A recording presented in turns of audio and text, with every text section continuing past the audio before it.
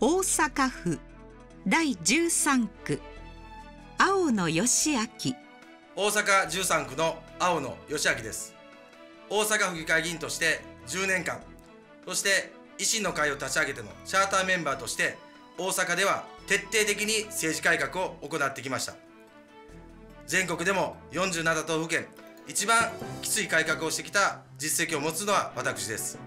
今度は国政でそれを実践します。増税の前に身を切る改革国民の方々が望んでいる政治改革をしっかりと行っていきます。本物の維新のスピリッツを私が届けて国をかき回します。